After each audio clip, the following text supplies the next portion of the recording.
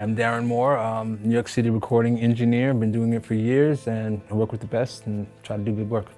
Lately, uh, it's very good. I've been doing a lot of uh, independent work with new and up and coming artists, a couple of singers from Los Angeles and some uh, hip hop and R&B groups here in New York. Uh, it's a really good time in that I can telecommute to work, meaning I can bounce files back and forth with my um, artists and clients uh, out in LA, um, and also work with people. I work with also with Bashiri Johnson. He has a studio we call the Lab in Brooklyn. He's a percussion player. Um, he played a long time player for Whitney Houston, also Michael Jackson. He did Michael Jackson's last tour. Started out making records with uh, Madonna, and um, you probably have seen him on um, anything that they ever do at the Kennedy Center that has a percussion player.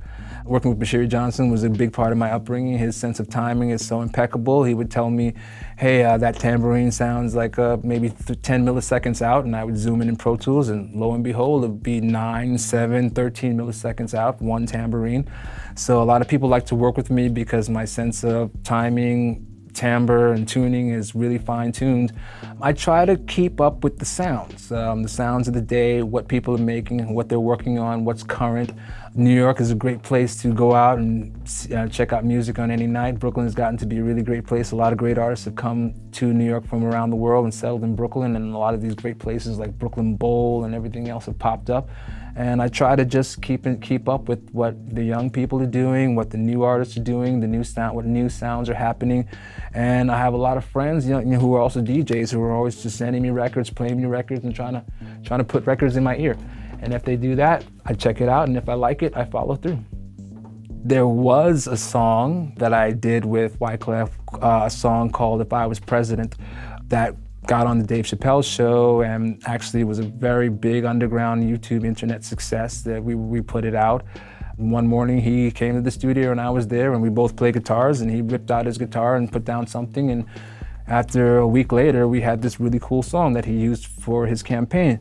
I do have a high-end um, audio interface because I think that's really what matters now and I like to use high-end microphones. I do believe that the technology is such nowadays that if you focus on capturing quality sounds with great microphones, with using good preamps and uh, high-end interfaces, you can do so much in the box. I like 1176 emulations because every studio in New York worth its salt that you went to had 1176 and LA2A.